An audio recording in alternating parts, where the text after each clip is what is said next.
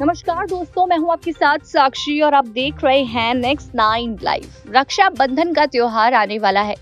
इस दिन बहनें अपने भाइयों की कलाइयों पर रक्षा सूत्र बांधती हैं। तो वहीं प्रधानमंत्री नरेंद्र मोदी की पाकिस्तानी बहन कमर मोहसिन शेख ने अब उनके लिए राखी भेजी है। इसके साथ ही उन्होंने साल 2024 में होने वाले आम चुनाव के लिए शुभकामनाएँ भी दी। इसके साथ ही कमर मोहसिन ने कहा कि उन्हें इस बार पूरी उम्मीद है कि पीएम मोदी से मिल पाएँगी।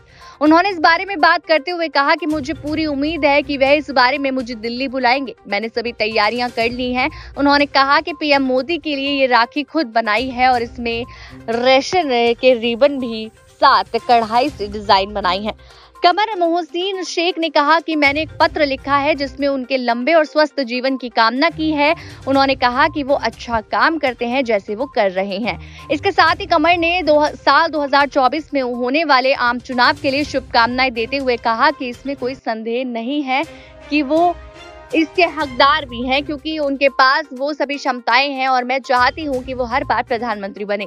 पीएम मोदी की पाकिस्तानी बहन कमर मोहसिन शेख ने पिछले रक्षाबंधन पर ही उन्हें राखी और एक कार्ड भेजा था। आपको बता दें कि मोहसिन शेख पिछले 20 से 25 सालों से भी ज़्यादा समय से पीएम नरेंद्र मोदी को राखी बाँध रही हैं। ऐसे अपडेट्स के लिए चैनल को सब्सक्राइब करना ना भूले।